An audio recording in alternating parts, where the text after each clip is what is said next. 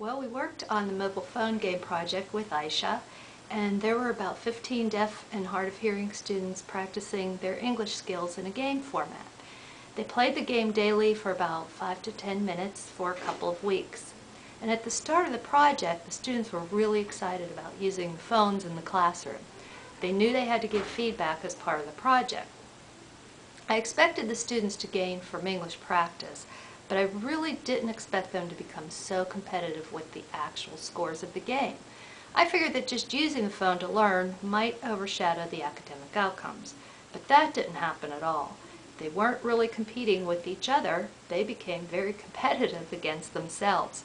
They wanted their scores to be perfect.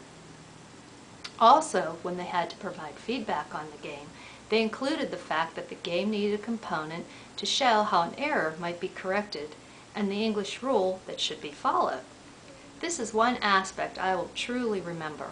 It illustrated that while the students may have been motivated to play the game, they also wanted to master the content, and that means the game was very successful.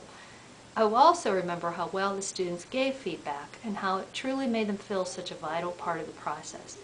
I know it's one experience they will never forget, and neither will I.